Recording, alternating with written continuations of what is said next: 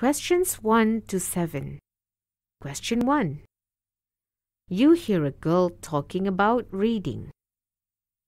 I enjoy reading, especially novels, during my free time. Many of my friends like crime stories, but I'm not that keen as there is too much violence in them. I avoid horror stories too, because I have trouble sleeping after reading them. I enjoy reading fantasy where there are magical kingdoms or supernatural beings. As for memoirs, I'm not a great fan. Question 2 You hear a man talking about his song composing talent. I used to sing at big and small school performances when I was younger, and I sang well. Everyone thought that I was talented in singing, including myself. However, I stumbled upon another hidden talent when I was in a music workshop. I was exposed to the knowledge and techniques of composing songs. Since then, I have been writing many songs that have become popular. Question 3 You hear a student talking about hip hop dancing. I like dancing. I picked up hip hop dancing when I met a group of passionate hip hop lovers.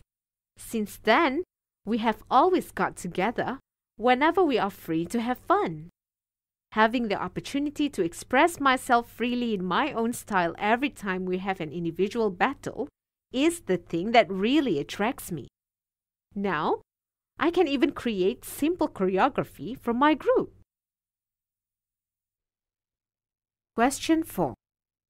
You hear a counselor talking about preparations before examinations. Many students burn the midnight oil before their important exams. This is not an effective way to study.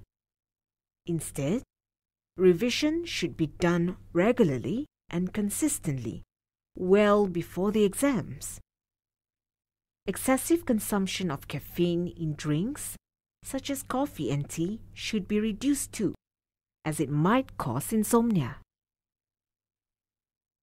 In order for you to stay focused during the exams, getting sufficient rest and sleep is of utmost importance. Question 5. You hear a dermatologist talking about acne. Acne is caused by overactive oil glands in the skin and a buildup of impurities, which leads to inflammation in pores. Therefore, keeping your face clean is essential in reducing the frequency and severity of breakouts. However, washing too much will make your skin dry. During a breakout, avoid wearing makeup such as foundation, powder, or blush. You should avoid scrubbing too. Just gently wash your skin with your hands. Question 6. You hear a man talking about his favorite bookshop. My favorite bookshop is Worldgate Bookshop. The selection of books there is the biggest I've ever seen. If you are looking for an older book, chances are you'll find it there. All books, even new releases, are sold at a discounted price. In addition, the owner is friendly and very knowledgeable, and the atmosphere is relaxing and inviting. It's a real gem in my neighborhood. Question 7. You hear two friends talking about learning how to ride a bicycle.